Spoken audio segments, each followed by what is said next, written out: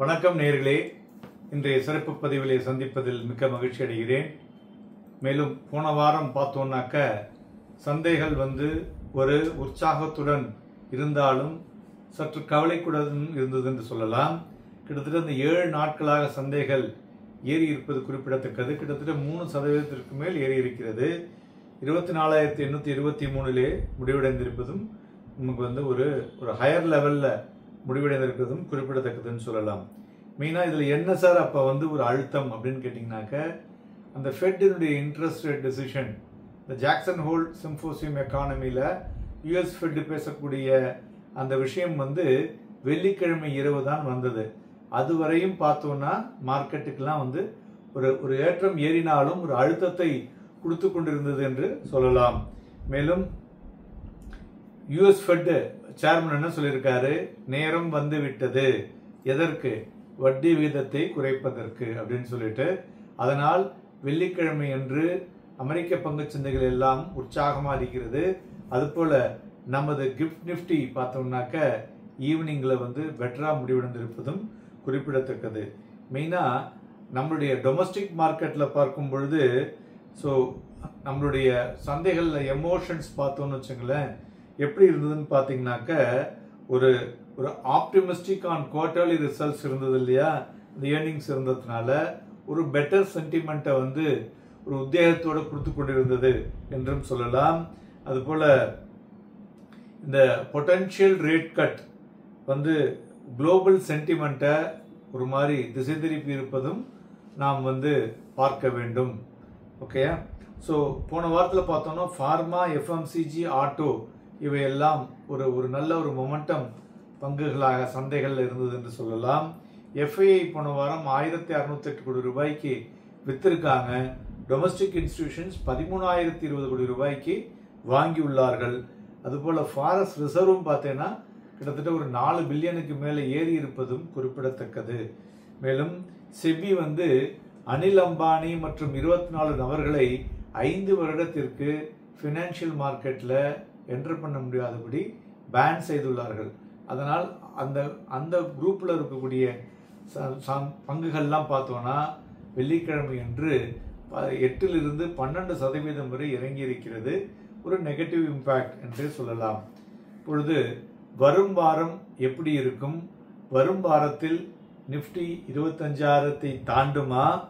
So என்ன விஷயங்களை எல்லாம் நாம் பார்க்க வேண்டும் என்பதை பற்றி தான் நாம் இப்போ பேச இருக்கிறோம். வரும் வாரத்தில் பார்த்தீங்கன்னாக்க நமது கியூ ஒன் ஜிடிபி இன்ஃபர்மேஷன்ஸ் வர இருக்கு.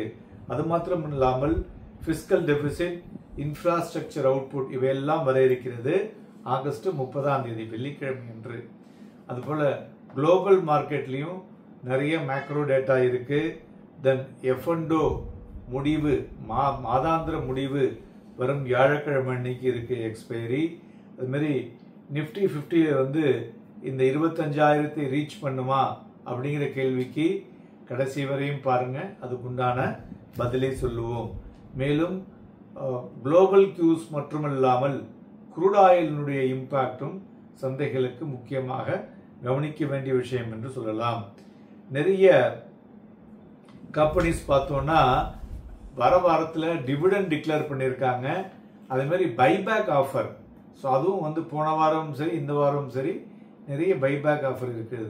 இந்த பைபேக் ஆஃபர் ஏன் இப்போ வருது அப்படின்னு பார்த்தீங்கன்னா அந்த கம்பெனியில் நிறைய பணம் இருக்குது ஸோ அதனால் அவங்களுடைய கம்பெனியினுடைய ஸ்ட்ரென்த்தை காமிக்கிறதுக்கு அதாவது அவங்களே வாங்கிக்கிறாங்க அப்படின்னா அதில் வந்து பெட்டர் ஸ்ட்ரென்த் இருக்குது அப்படிங்கிறதுக்காகவும் ப்ரைஸில் வந்து பெரிய ஃபால் வரக்கூடாது என்பதற்காகவும் அவங்களே வாங்கி கொள்கிறாங்க.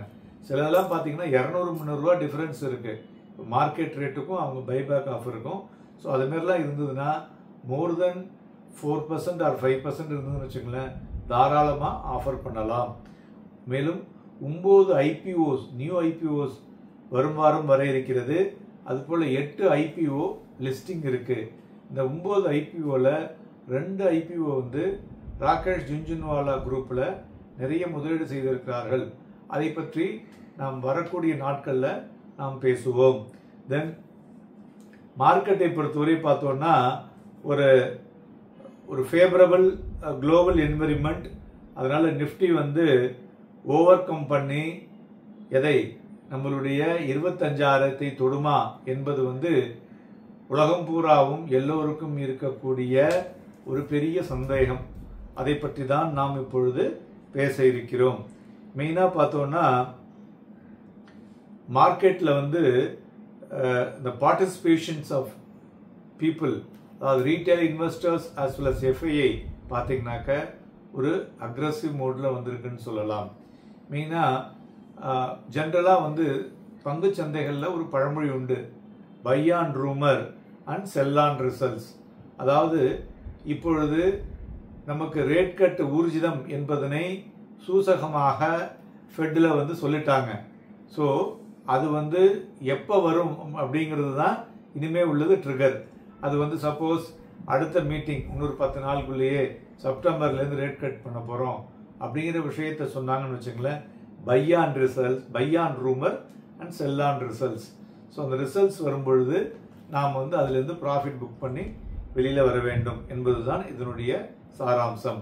ரெண்டாவது துறைகளை பொறுத்தவரை பார்த்தோம்னா எஃப்எம்சிஜி ஃபார்மா ஆட்டோ மற்றும் செலக்டிவாக மெட்டல் செக்டார் உள்ள பங்குகள் எல்லாம் ஒரு ஒரு பாசிட்டிவ் மூமெண்ட்ல இருக்கக்கூடும் என்பதனை எதிர்பார்க்க முடிகிறது என்று சொல்லலாம். மேலும் நிஃப்டியை பொறுத்தவரை வந்து வரும் வாரத்தில் இந்த இருபத்தி நாலாயிரத்தி எண்ணூற்றி ஐம்பதை ஓவர் கம் பண்ணி மேலே போச்சுனாக்க அது வந்து ஒரு புதிய உச்சத்தை தொடக்கூடிய வாய்ப்புகள் அதிகமாக இருக்கிறது. மேலும் வரும் வாரத்திலே நிஃப்டி வந்து இருபத்தி நாலாயிரத்தி எண்ணூற்றி ஐம்பது மற்றும் இருபத்தஞ்சாயிரம் என்ற புள்ளிகளை தொடக்கூடிய வாய்ப்புகளும் அதை தொட்டு அதிலிருந்து மேலே செல்லக்கூடிய வாய்ப்புகளும் பிரகாசமாக இருக்கிறது என்று சொல்லலாம். ஏன்னு பார்த்தோம்னாக்க பேங்க் நிஃப்டி வந்து ஒரு ஒரு மொமெண்டம் கொடுத்துருக்கு. பேங்க் நிஃப்டியும் இந்த மொமெண்டம் வந்து நின்னுதுன்னு வச்சுங்களேன். ஐம்பத்தொன்னு ஐநூறுக்கு மேலே பேங்க் நிஃப்டி போச்சுன்னா அது வந்து ஒரு புதிய உச்சத்தை அதுவே எடுத்துகிட்டு போயிடும் நிஃப்டியை. ஏன்னா நாற்பது percent of constituent in Nifty bank நிஃப்டிங்க so அதனால் அந்த அதுவே எடுத்துட்டு போயிடும்னு சொல்லலாம். அதுபோல் ஐம்பதாயிரத்தி ஐநூறுலேருந்து ஐம்பத்தொன்னாயிரத்தி ஐநூறு இந்த லெவலில் அதுக்கு மேலே போச்சுன்னா மார்க்கெட்டில் வந்து அது ஒரு பெட்டர் மூமெண்ட் இருக்கும். இதுக்கு கீழே ஒரு அழுத்தத்தை கொடுக்கக்கூடும்.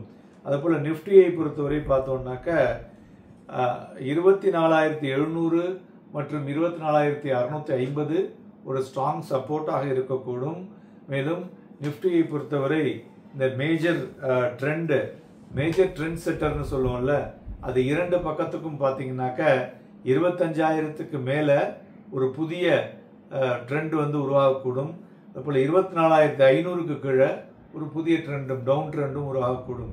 ஸோ அதனால் ட்ரெண்ட் செட்டர்ஸ் வரக்கூடிய வாரத்திற்கு இருபத்தஞ்சாயிரம் அண்டு இருபத்தி நாலாயிரத்து ஐநூறு இதை நீங்கள் வந்து கவனமாக மனதில் கொள்ள வேண்டும்.